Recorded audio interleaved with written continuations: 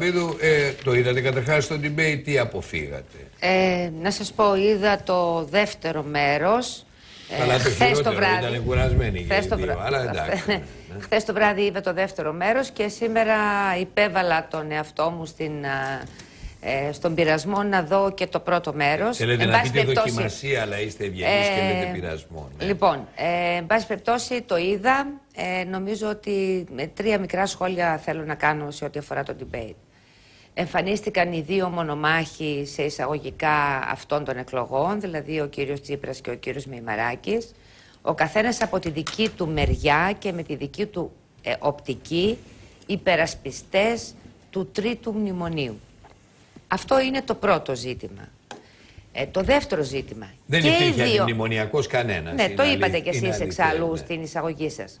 Το δεύτερο ζήτημα, και αυτό νομίζω ότι αξίζει της προσοχής ε, της μεγάλης πλειοψηφίας της ελληνικής κοινωνίας που αναζητάει, που έχει περιέργεια, που έχει αγανάκτηση, θυμό, ερωτηματικά για το τι ακριβώς συνέβη όλο το προηγούμενο διάστημα και πώς εξηγείται αυτή η μεταστροφή, η μεγάλη μεταστροφή του ΣΥΡΙΖΑ και οι δύο, και ο κύριος Μημαράκης αλλά και ο κύριος Τσίπρας, μίλησαν για εισοδήματα, για ισοδύναμα.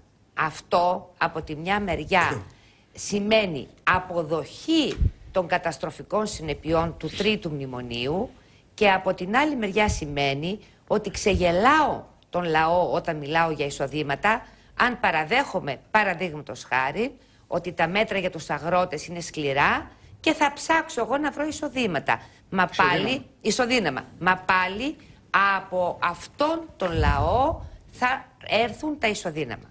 Και το τρίτο που ήθελα να πω, νομίζω ότι έγινε πολύ ξεκάθαρο χθες ότι μιλάμε για, τη, για μια διαφωνία από τα δύο κόμματα που χτυπάνε την πρωτιά ή που θέλουν να χτυπήσουν την, πρω- την πρωτιά σε ένα ζήτημα.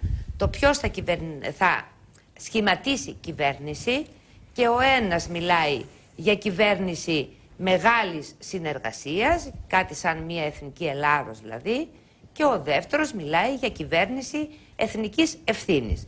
Εμάς και τα τρία ζητήματα αυτά, σαν λαϊκή ενότητα, δεν μας αφορούν. Εμείς επιμένουμε με συνέπεια και με σταθερότητα ότι η χώρα μας πρέπει να βγει από τη μέγενη των μνημονίων, ότι στη χώρα μας δεν μπορεί να εφαρμοστούν και άλλο μνημονιακές πολιτικές, γιατί η, η καταστροφή είναι ορατή σε όλα τα επίπεδα. Και Κυρία τέλος, Γαλαντίδου, και τέλος ναι. κύριε Τράγκα, και τέλος κύριε Τράγκα, Ό,τι θέλετε. Ε, ο διάλογος, είπε ο κύριος Λοβέρδος ότι ήταν πιο ζωντανός και συμφωνώ σε αυτό σε σχέση με το πρώτο debate. Ε, εμένα όμως δεν μου άρεσε το, το- δεν μου άρεσαν τα αστιάκια, τα γελάκια, ε, τα πειράγματα, δεν ξέρω. Κατέβασαν πάρα πολύ νομίζω το επίπεδο της κουβέντας και το κυριότερο και τελειώνω με αυτό είναι ότι δεν απαντήθηκαν τα μεγάλα προβλήματα που απασχολούν την ελληνική κοινωνία.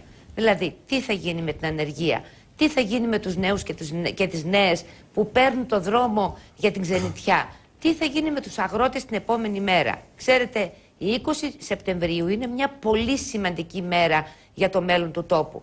Αλλά η 21 Σεπτεμβρίου και οι επόμενες μέρες θα είναι ακόμα πιο σημαντικές. Ο κόσμος περιμένει απαντήσεις στα ερωτήματα. Δεν υπάρχουν απαντήσεις γιατί τα, με- τα κόμματα έχουν ένα προ- πρόγραμμα, το μνημόνιο και τίποτε άλλο. Κυρία Γαλαμπίδου, θέλω να σα ρωτήσω κάτι. Άκουσα τον κύριο Τσίπρα να επαναλαμβάνει συνεχώς, εντάξει, σε μια προσπάθεια να συρρυκνώσει, αν θέλετε, την εικόνα του αποσχιστέντος τμήματος του ΣΥΡΙΖΑ, να μιλάει για μια μειοψηφία, μια ισχυρή μειοψηφία του κόμματος που σηκώθηκε και έφυγε και ουσιαστικά, σύμφωνα με όσα λένε και οι εφημερίδες που συνοδεύουν τον κύριο Τσίπρα σε κάθε του βήμα, αποστάτησαν όλοι αυτοί, εσείς, ο κύριος Λαφαζάνης και όλοι οι άλλοι. Πείτε μου κάτι, στην κοινωνία εξακολουθεί να υπάρχει αντιμνημονιακό τμήμα ή η προσωπικότητα του κυρίου Τσίπρα παρόλο, παρόλη την τούμπα, ας πούμε, την πολιτική, την κολοτούμπα την οποία, για την οποία ζήτησε συγγνώμη και τα λοιπά και δεν μπόρεσε και αγωνίστηκε και μάτωσε και όλα αυτά, ε, δεν επηρέασε την ε, γοητεία του προς τα πλήθη. Κοιτάξτε. Ε, δηλαδή, εσείς που βγαίνετε και κυκλοφορείτε στην Θεσσαλονίκη, εσείς που βγαίνετε, γιατί προσέξτε, αυτό ανάγεται και στην ψυχολογία της μάζας. Δηλαδή, εσείς είσαστε ένα αντιμνημονιακό, ένας αντιμνημονιακός πολιτικός φορέας, από ό,τι ξέρω θα μου επιτρέψετε να το πω, ο κύριος Τσίπρας τροχοδρόμησε και σε δικά μου συνθήματα πάνω πριν από πέντε χρόνια. ραδιοφωνικά μου συνθήματα, ε, πήγε πολύ καλά, ξέρω εγώ, ανέβασε, ανέβασε, ανέβασε. Το 12 πήρατε ένα ποσοστό, ήρθατε δεύτερη. Και μέχρι πρότινος νομίζω ο λαός με το 62% έδειξε ότι είχε μία τροχιά, όπως λέμε, μια δυναμική ε, τροχιά επάνω στο αντιμνημόνιο του ΣΥΡΙΖΑ. Αυτή τη στιγμή εσείς φεύγετε. Δεν ψηφίζετε το μνημόνιο που φέρνει ο κύριος. Τι ανάκλαση έχει αυτό στην κοινωνία; Θέλω να δω. Υπάρχει, είναι ισχυρότερη η γοητεία του προσώπου του κυρίου Τσίπρα, στον οποίο δεν έμειναν στα. Οι ίδιοι είπαν ότι εμείς δεν θέλουμε στα ρηλίκια. Φύγατε όλοι γνωστοί δηλαδή. Τα γνωστά στελέχη του ΣΥΡΙΖΑ φύγατε όλα. Τα περισσότερα τουλάχιστον. Ε, ή έχετε την αίσθηση ότι ένα κομμάτι της κοινωνίας σας ακολουθεί στη νέα κομματική πορεία; Κοιτάξτε, ε, ένα κομμάτι της κοινωνίας και κυρίως ένα κομμάτι που ε, έχει, ε, έχει βιώσει με πολύ τραγικό τρόπο τις συνέπειες των, πέμπτων, των πέντε μνημονιακών χρόνων μας ακολουθεί. Ωστόσο όμως, όπως γνωρίζετε πάρα πολύ καλά, είμαι πάρα πολύ ειλικρινής, θέλω να σας πω ότι ο κύριος Τσίπρας είναι μια ισχυρή προσωπικότητα και η ψυχολογία της μάζας λέει ότι θέλω κυβερνήτη και φυσικά θα επιλέξει ένα μεγάλο κομμάτι, θα επιλέξει ε, ανάμεσα στους δύο μονομάχους. Ε, Άρα νομίζω, σύμφωνα με τη φίλη μου την κυρία Χαραλαμπίδου η οποία ακολούθησε τη συνείδησή της και πήγε στη Λαϊκή Ενότητα και στο Αντιμνημόνιο ένα κομμάτι θεωρεί της κοινωνίας αριστερό διεκδικητή τον κύριο Τσίπρα, έτσι; Όχι, δεν θα έλεγα αυτό. Δεν θα έλεγα αυτό. Όχι. Είπα κάτι άλλο. Ναι. Είπα ότι υπάρχει ένα κομμάτι της κοινωνίας που έχει πιστεί. Ε, από, μιλάω για τους ψηφοφόρους του ΣΥΡΙΖΑ, για να το ξεκαθαρίσουμε. Ναι, Γιατί οι υπόλοιποι ψηφοφόροι των άλλων κομμάτων που ψήφισαν τα μνημόνια δεν έχουν τέτοιου είδους ερωτηματικά. Ένα κομμάτι λοιπόν των ψηφοφόρων του ΣΥΡΙΖΑ λέει να δώσω μια ευκαιρία. Ένα, αυτό το ίδιο το κομμάτι χαρακτηρίζει εμάς που φύγαμε από το ΣΥΡΙΖΑ ως αποστάτες, ενώ εγώ προσωπικά δεν θεωρώ τον εαυτό μου αποστάτη. Άλλοι είναι αποστάτες, άλλοι έχουν φύγει. Ποιος είναι, ε, δηλαδή; Αυτοί που έχουν ο εναπομείνα ΣΥΡΙΖΑ.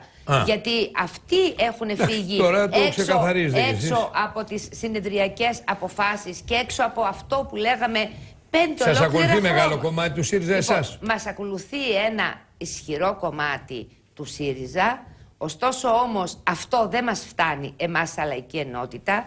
Εμείς θέλουμε και επιδιώκουμε την Κυριακή στις 20 Σεπτεμβρίου να εκφράσουμε το μεγαλύτερο ποσοστό των ανθρώπων που αγωνίστηκαν όλα τα προηγούμενα χρόνια με τις σημαίες του ΣΥΡΙΖΑ ενάντια στα μνημόνια.